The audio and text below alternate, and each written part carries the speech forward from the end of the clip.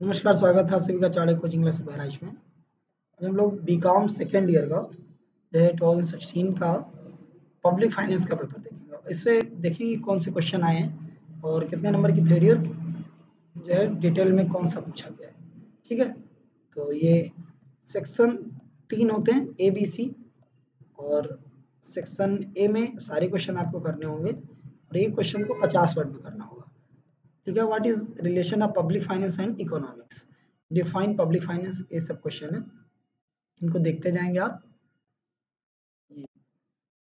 Tax से related भी question पूछे गए हैं। काफ़ी क्वेश्चन टैक्स से सेक्शन ए में पूछ लिए गए टू थाउज़ेंड सिक्सटीन में अगर आप देखें, फिर सेक्शन बी में जो क्वेश्चन दिए हैं, ये क्वेश्चन हर क्वेश्चन में आर लगा के दिया कोई एक क्वेश्चन करना है ठीक है? देखिए, पहला क्वेश्चन क्या है? What do mean by public finance what is difference between public finance and individual finance फिर discuss importance of public finance यानी बेसिक से पहला ही क्वेश्चन पूछ लिया और what are the main source of public revenue discuss their chief characteristics ये और भी discuss the defects of Indian tax system ये सब क्वेश्चन है।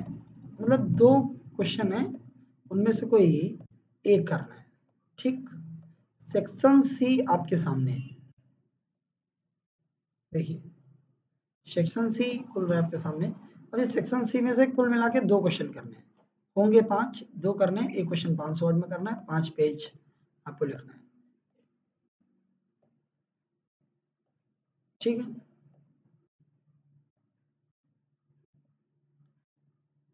एक क्वेश्चन आपके सामने और ये लास्ट क्वेश्चन है। लास्ट क्वेश्चन क्या? Explain the structure of local government in India तो ये आपको करना था, जो पेपर दिया है टू सिक्सटीन का आया था। इसको अगर डाउनलोड करना है तो टेलीग्राम चैनल का लिंक दिया है, वहाँ से जाके आप डाउनलोड कर सकते हैं। और ऐसे ही वीडियो आपको और मिलते रहेंगे, इसलिए हमारे चैनल को सब्सक्राइब करें। बहुत बहुत धन्यवाद।